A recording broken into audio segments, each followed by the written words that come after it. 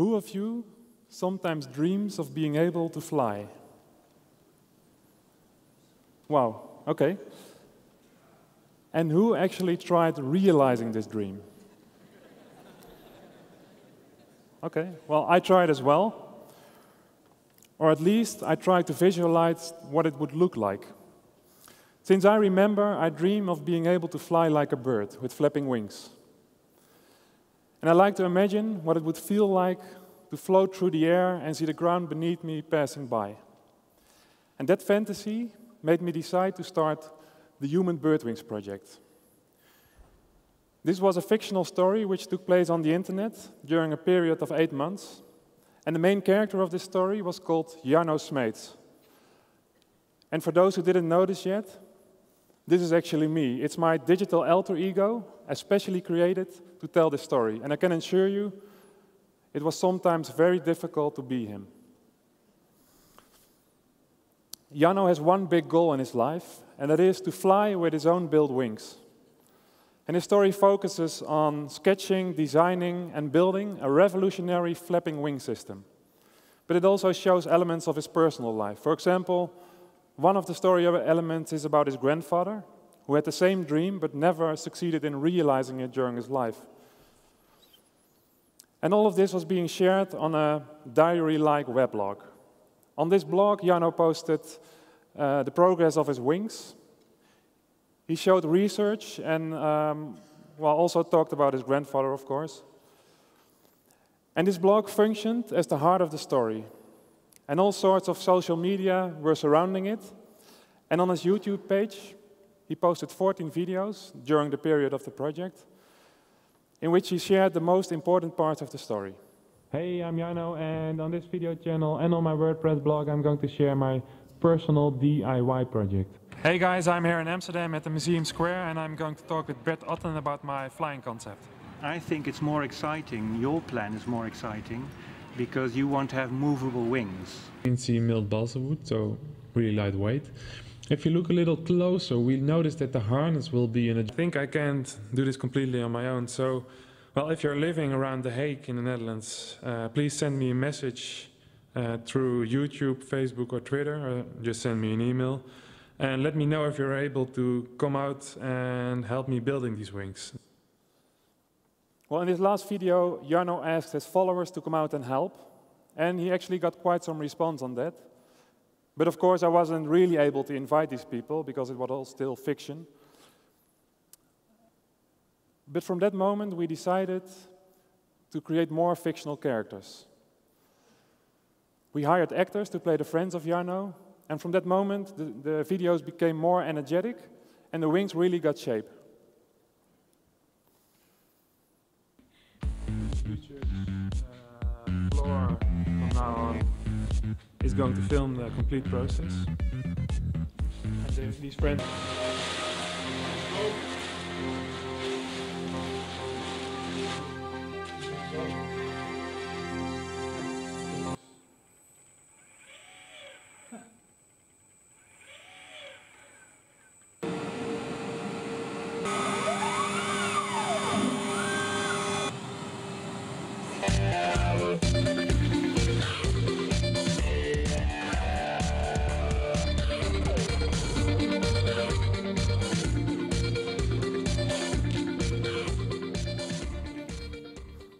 Well, now these wings were slowly getting finished.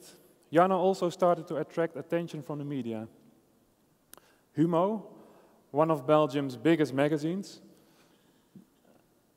invited Jarno for an interview. So Jarno invited this journalist to his studio, and they spent three hours talking about the wing design, his grandfather's dream, and the way in which Jarno got inspired by young albatrosses. And of course, Jarno felt very honored by this, but me personally, as Floris, that was one of the most uncomfortable moments in my life.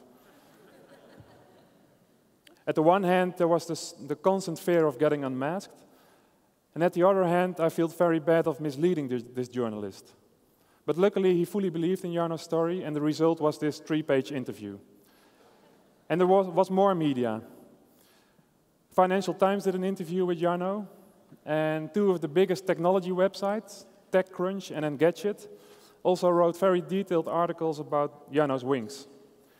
And all of this media caused an exponential growth of Jarno's followers.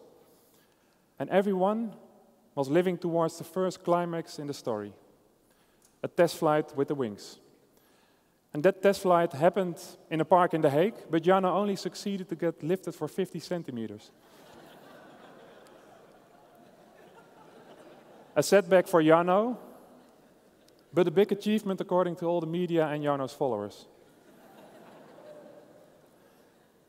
Wired wrote an, integral, an article about uh, the bird wings, and they fully analyzed the test flight, made all sorts of calculations on the wings, and they concluded that Jarno was actually very close to realizing one of mankind's biggest dreams.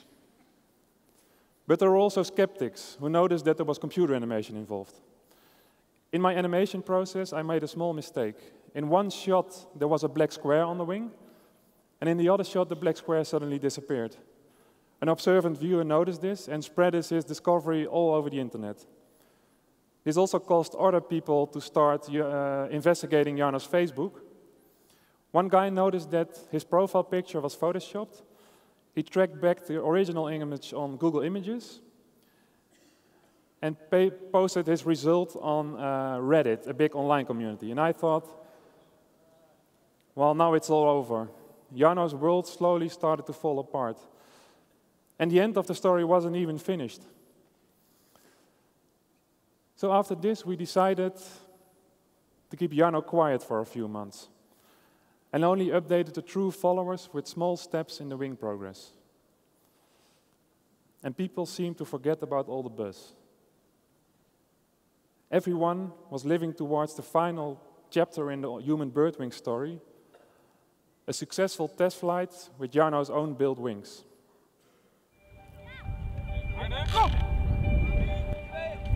Met de andere camera filmen.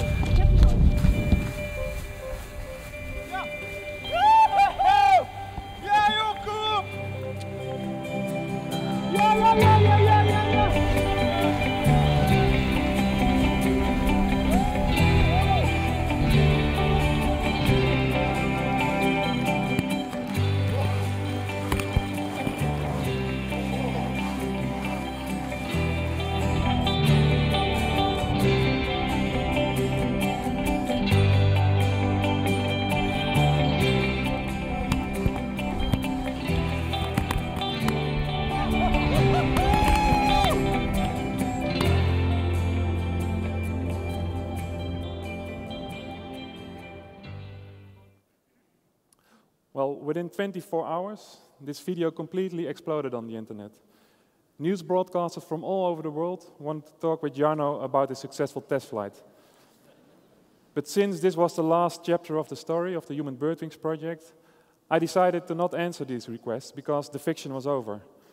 And what happened then was that all these news, broadca news broadcasters started to rip the video off YouTube and use it in their news items. And there were also a lot of funny uh, video posts of his uh, true followers. Jarno Smeets flying like a bird. Flying like a bird. And 500 years after Leonardo da Vinci dreamed of man taking to the sky, it's called human bird wings. A Dutch engineer called Jarno Smeets. Take a look. Here's a so-called Birdman. A Dutchman is sky high after he says his incredible invention took flight. Hey guys, so I just saw flying like a bird. Diese Woche verleiht das Internet Flügel. Ik ben dus heel erg gemotiveerd door Jarno Smeets. And this last guy was actually very funny. He completely copied Jarno's video, but then with very small pink wings on his back. but there were also skeptics again.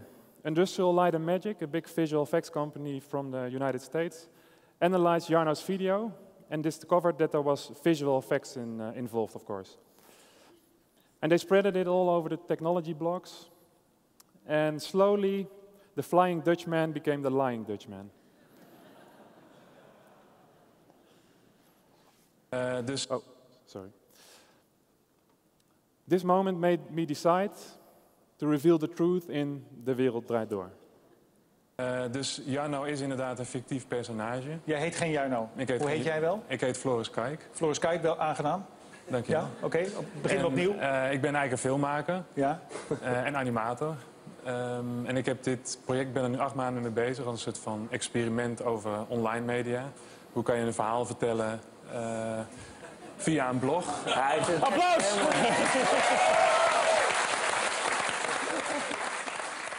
Well, within five minutes after this show, Jarno Smeets and Floris Kaayk were a worldwide trending topic on Twitter. and the days after, I spent doing interviews in all kinds of. Yeah. Sorry, that was my, my big joke. The days after, I spent doing interviews at television shows all over the world and explained my story behind the human bird wings. But there were also people who felt very disappointed. Some of them said they felt cheated, and others said they felt their dreams were crushed because everything turned out to be fiction. But luckily, most of the responses were very positive. I mean, still better storyline than Avatar. I see that as uh, quite a compliment. Looking back at the project, I can conclude that I learned a couple of things. I don't want to act again. I don't want to lie again about my project. But as a filmmaker, this was a very successful way of reaching millions of people. And the most important thing, because this all turned out to be fiction, the dream is still a dream. Thank you.